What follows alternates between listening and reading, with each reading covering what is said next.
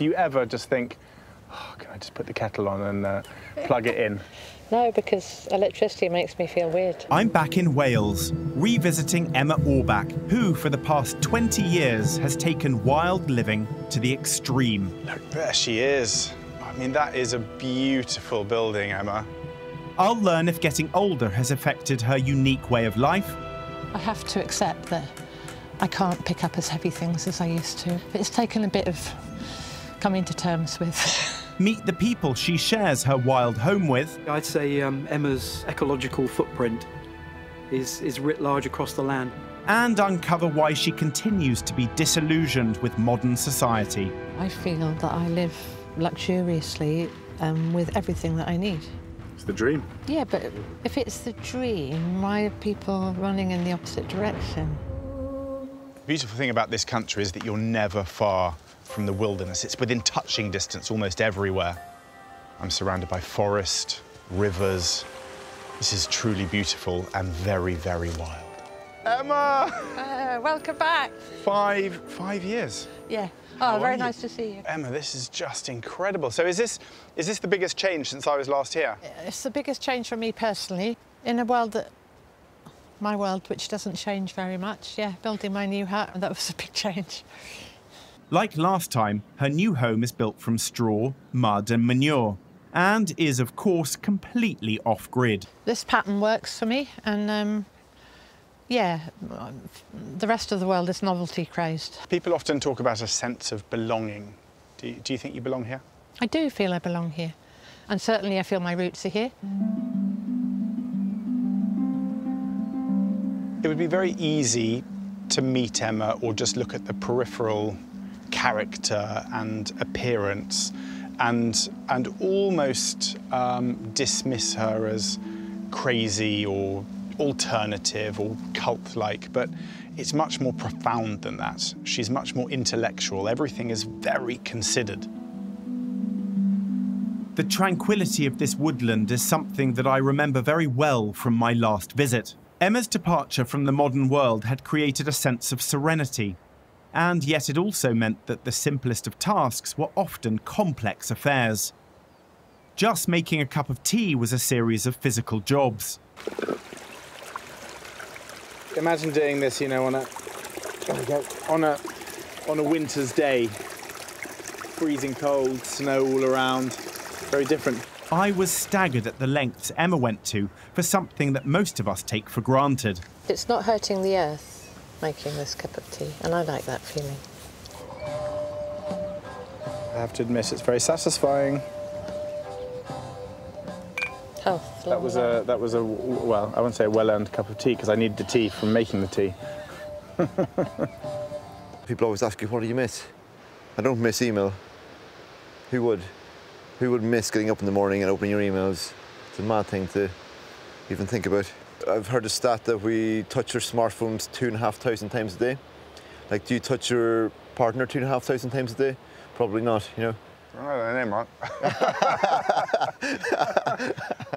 no electricity. No electricity, so I've no internet, no mobile phone, um, no running water. Um, I've actually got a bit of a surprise for you today in that I'm going to ask you to give up your mobile phone, if you have one, uh, for the duration of your stay. Yeah. So um, I don't know how that sits with you. Would I, well, I, well, no, I can I can do that.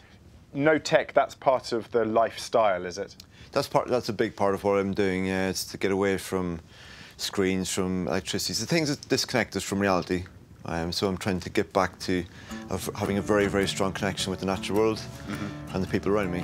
He talks about connection, and I, I get that. If I'm here, he wants me, eyes, looking at him, and not kind of looking down or kind of. Uh, he, he wants me to be present for the whole time, and I get that because that's what I would like to have in my life, but I haven't been able to find the the way to actually achieve that. Maybe I will after this week. Do you think letter writing brings you closer than us using phone calls and emails and, and texts? Definitely. Um, it's more intimate for a start, you know. But you also go into a different headspace. Um, like when you you can knock out an email in ten seconds, you know, like a quick line or a quick text. When you sit down with a pencil and paper, you start thinking about what you really want to say to the person, um, and you actually share a lot more emotional stuff. Like how many people have reread emails five times in their bed because how how wonderful email is. You know, it's it's a different energy. Do you remember the last time you wrote a letter by hand? Do you know what? If I'm really honest, I don't think I've written a letter for like a decade. Well, Yeah. I've, de- I've never written one to my children. yeah. And, and you make me think about that. I might have to give it a go. I feel inspired. Hey, Mark, how you Paul, doing? how are you? It's a cold one. Anything interesting? I have one for you and one for uh, Ben For Fogle. Ben, all right. Brilliant. Look at this. I never get letters. Yeah. Do you know who it's from? That, if I'm not mistaken, it looks quite like my daughter's writing, but we'll have to see. But thank you so much. Yeah, really nice to meet you. Paul, thanks very much, man. Yeah, for Yeah, see- see fair play to you, Mark, man. yeah. Yeah, yeah. See you in a bit. Dear Daddy, I hope you're having a nice time in Ireland. And I can't ever read stuff like this because I get all teary. And you're the best daddy ever. I can't wait to see you. Love Iona. That's so sweet. I love that. Love you, Iona. Powerful, the written word, isn't it?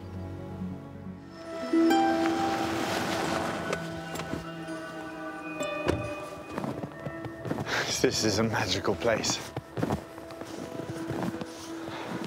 Fortunately, she's marked out a, a trail of pink ribbons, so I shouldn't get lost. It really did feel like I was walking into the unknown. A kilometre into the woods, I thankfully spotted my host. Oh wow, I didn't expect this. Wow, look at you. Hello. Hey, how are you Hi. doing? Very nice to meet you. Yeah, good to meet you. How are you? Wow. You know. So I don't want to comment on appearance straight away, but you look amazing. Well, you look like you have a suntan. I got, I've come from warmer places. I'm sure your weather will strip the suntan off me in no time. Lynx Vilden is half British, half Swedish. Raised in London, she spent family summers roaming northern Europe's remote forests.